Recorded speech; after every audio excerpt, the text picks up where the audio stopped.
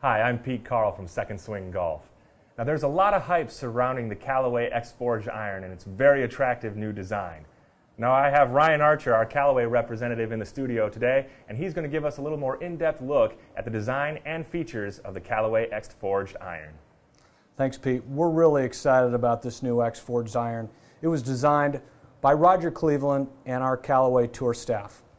It's got an incredibly thin player's sole for added versatility, as well as a very thin top line for that tour inspired look that this player is looking for. As well as it's designed through a triple net forging process, which will give you the tightest tolerances and best feel possible out of a forged iron that you would expect.